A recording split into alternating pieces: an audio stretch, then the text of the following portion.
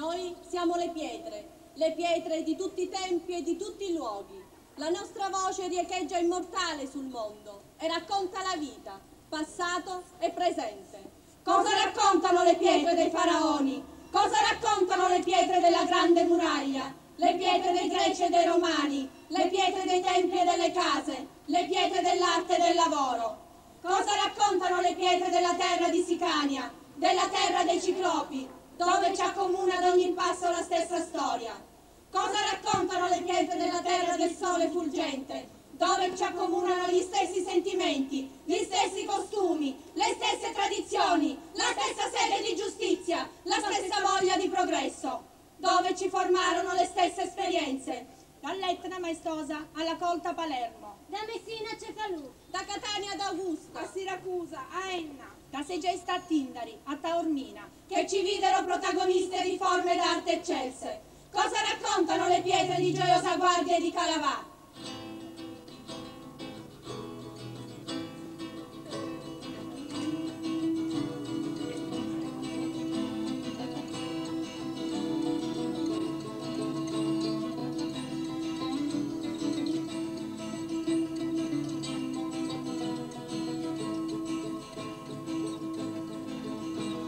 Vinci guerra d'Aragona, un castello fabbricò e vicino ad un castello un paese si formò. Vinci guerra d'Aragona, un castello fabbricò e vicino ad un castello un paese si formò.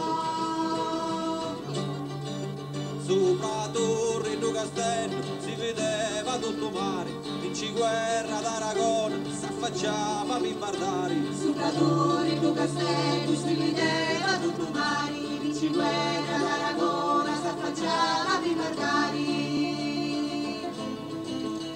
Si vedeva di lontano le galere sopra mare, di lo turco l'invasore verso terra navigare. Si vedeva di lontano le galere sopra mari, di lo turco l'invasori verso terra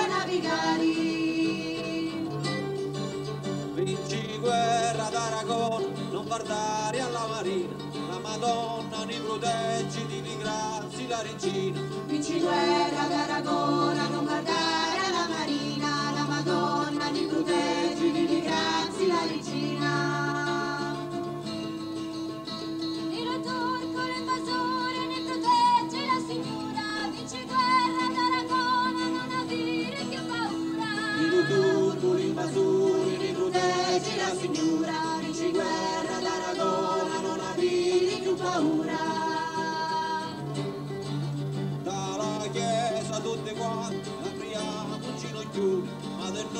nozza proteggiti lo paese e le persone. Dalla chiesa tutti quanti l'apriamo